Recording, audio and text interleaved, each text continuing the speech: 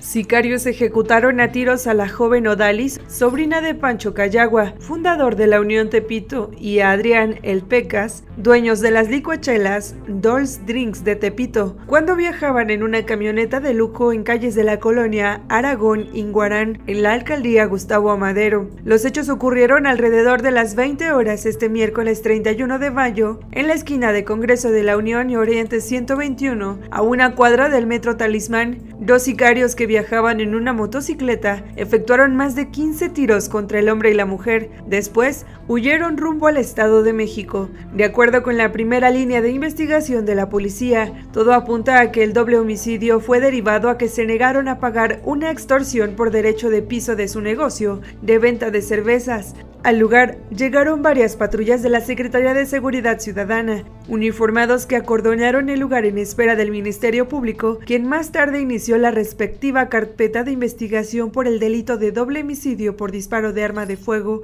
contra quien o quienes resulten responsables.